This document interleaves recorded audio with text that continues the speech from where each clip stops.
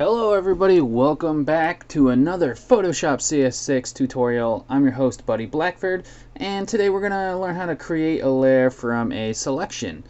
And uh, this is pretty helpful because you can use the contents of one layer to um, and apply it to another layer to essentially combine the layers in a uh, sense there. So what I'm going to show you now starts out by um, creating something such as like text or something like that or anything that you can use that has transparency in it that we can use to select. So um, go ahead and we can uh, turn our background off so we can see that there is transparency within my text here. So I'm just going to turn it back on. And what we're going to do is use a technique from the last tutorial about uh, creating a selection from a layer and apply that to this uh, tutorial. So we're going to create a selection from this layer by clicking, holding control and clicking on the thumbnail. And now our text is now selected. And you can see that here that uh, selected around is transparency also. Now what I want to do is I imported this picture here of a color scheme. And you can see what it's going to do now. It's going to take this selection here and cut out the parts uh, that are selected. Actually, it's going to keep those parts and delete everything else. It's actually not going to delete it. It's actually going to make a new layer. And that way it can be these certain colors that I have on here now.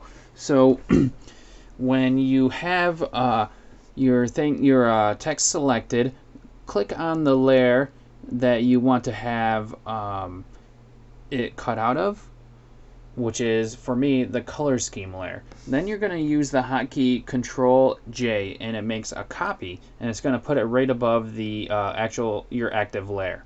So control J now if I turn off all my, if I want to turn off all my other layers, just hold down Alt and click on the actual layer that we want to see, which for me is called layer 2. And now you can see that this layer now um, has the colors from the color scheme layer. Now if I go look at the color scheme layer real quick, you can see that nothing's been cut out and it's been preserved as the same image. And uh, same thing with the select me text. So uh, that's how you use the um, the uh, colors or the uh, selection to create a new layer. Now you can also do this in other ways by using like selections like that. So let's uh, turn off this layer and then we'll bring uh, up the color scheme layer again.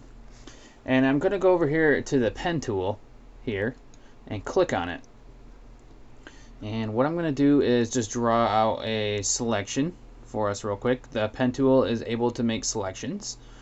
So click on it and just drag to make some lines that will make us a selection or something like that. There we go. And click on this uh, selection button up here in the pen tool options where it says make and then click selection and then hit OK and now we have a new selection that's been made. Now we got, all we have to do is um, make sure we're on color scheme for our active layer and then control J hotkey. And now we have created this little um, boomerang looking thingy here so that's how uh, another way you can use it. You can use your selection, your square selection tools, or rectangular. You can use your lasso to draw out your own selection if you would want, if you wanted to, and all that kind of stuff. Now you can make a quick copy of an entire layer if you wanted to um, by using the move tool, and we can use the move tool to just like uh, drag out another copy. For example this is how it works. And it created a whole another copy.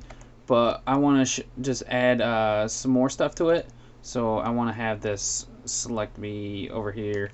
And I'm going to just merge these two layers together by having them both selected right clicking and clicking on merge layers.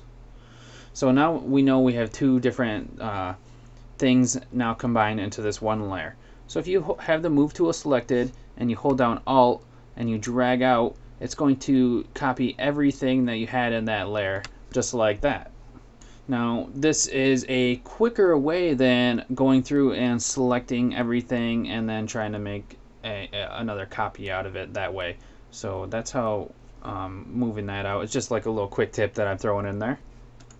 Uh, another way to do this is to um, select a layer and then hit Control and then J to um, move the layer. Now, my favorite thing, or hold or the hotkey Control J isn't really my favorite thing because I can barely reach over there with uh, one hand, so I have to use two hands, and um, I don't really like switching to two hands when I'm working. So um, I like the holding Alt and moving the um, move tool a lot better than that. So that's uh, my tutorial on creating a layer from a selection, and I added some bonus stuff in there for you. So hopefully you guys can use this information on your uh, upcoming projects or anything like that. So thanks for watching this one. Um, thanks for watching the series up till now if you have. And if you're just jumping in now just to check out this tutorial, thanks for even checking me out. So have a good one everybody. Subscribe for more. See you later.